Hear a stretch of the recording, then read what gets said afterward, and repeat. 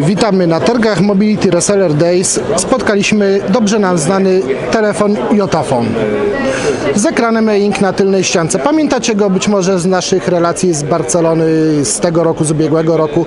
To jest model dwójka i o, dowiedzieliśmy się, że on będzie sprzedawany niebawem w Polsce. Cena, no, jeszcze nie możemy jej ujawnić, ale niestety okazało się, że będzie to cena segmentu premium, czyli raczej wysoka. No ale chyba warto dopłacić za ten ekran na tylnym panelu.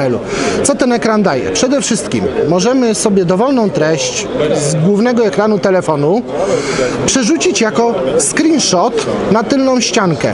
Czyli na przykład y, mamy jakąś stronę internetową z adresem, tudzież wycinek mapy. Robimy jeden ruch palcem, przepraszam, bo nie zawsze to wychodzi jeszcze. Ja jeszcze do końca nie potrafię obsługiwać tego telefonu. No właśnie, jak na złość teraz mi to nie wychodzi. Sprawdź drugi ekran, możliwe, że wyszło. O, teraz wyszło. Y, Trzeba wykonać y, poślizgnięcie palcem między ikonami.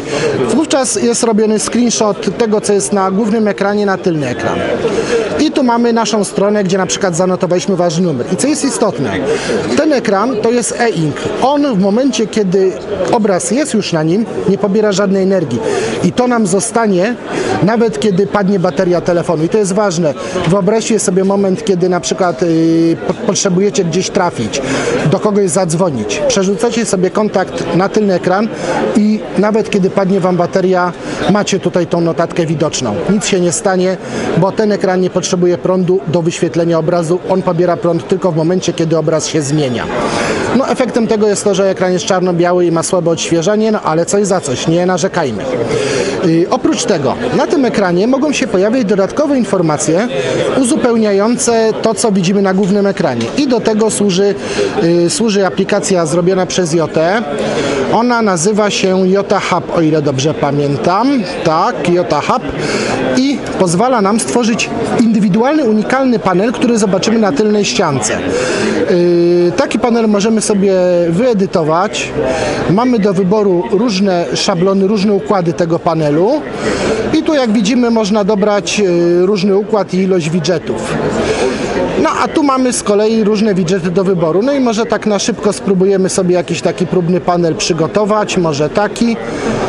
Robimy to w ten sposób. Wybieramy kształt i teraz tutaj mamy do wyboru widgety o danym rozmiarze. Czyli na przykład możemy sobie tutaj trzy wybrane kontakty dorzucić. Na tym kolejnym panelu możemy sobie na przykład dać wycinek kalendarza i tak dalej, i tak dalej. Jak widzicie, widgety się powtarzają niekiedy, no ale mają różne rozmiary, a co za tym idzie, w różny sposób y, mogą prezentować te dane.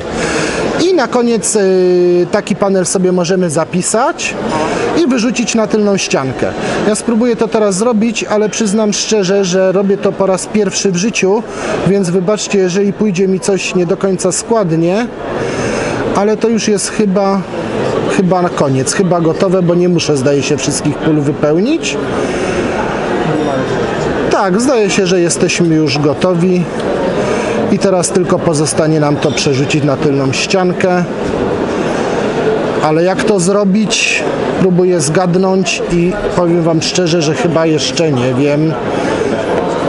Czyżby podwójnym tapnięciem? Nie. Ha, no nie przygotowałem się do nagrania tego filmu, bo z tyłu cały czas jest nasza strona. Zaraz poprosimy o tą ekranę. Zaraz zapytamy może, y, jak ten panel przerzucić na drugą stronę, to może w międzyczasie, Odpal jeszcze, odpal jeszcze raz widget i spytamy jak go przy... y, w międzyczasie może, o, sekundę, zapytamy obsługę. chwilkę o pomoc. Jak, jak, jak przerzucić, jak przerzucić jak ten tylny widget panel? przerzucamy na tylny panel?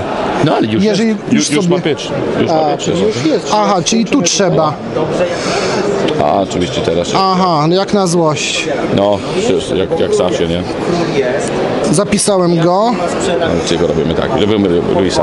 Ale tak, normalnie jest tak, że od razu się update'uje. On, czyli on powinien się od razu zupdate'ować w momencie, kiedy go utworzyłem, powinien się przejść na tylną Tak, tak, ściankę. tak, tak, dokładnie. Nie, oczywiście jest, nie zawsze pokaże, dlaczego, że jak, jak masz więcej niż jeden dashboard, no jak jesteś na jednym, no nie, nie, od, nie od razu, wiesz, e, skoczy na drugi, no to jest tak, nie? Jak, jak robisz update tu. Ale pokaże, tak. tak. Ale od- od- Czyli generalnie tak, do tak. tego służy ten przycisk, który tu widzieliśmy w dolnym rogu, tak? tak, tak. Czyli naciśnięcie tego przycisku od razu powoduje wrzucenie tego. Y, No i jest chyba dokładnie to, co wtedy utworzyłem. Zgadza się, bo ja to wcześniej zastąpiłem screenshotem y, tego, co było na ekranie. Jak teraz jak wybieramy na przykład ten. Teraz zajrzymy, spróbujemy go może zmienić. O, może dodajmy coś jeszcze na szybko. No, pierwsze z brzegu zegar. I teraz obracamy telefon. No rzeczywiście zadziałało jest. Czyli prawdopodobnie wcześniej nam się udało telefon zawiesić. Trudno, czasem tak się zdarza, ale generalnie y, egzemplarz, który tutaj oglądamy y, w Warszawie działa zdecydowanie lepiej niż ten, który widzieliśmy w Barcelonie. Czyli tutaj już chyba widać, że jest soft znacznie bardziej dopracowany i tak. to nadal jest prototyp, czyli nadal mogą pojawiać się takie błędy, jakie właśnie widzieliście. Bardzo dziękujemy za pomoc. Dziękujemy za pomoc i do zobaczenia, do usłyszenia.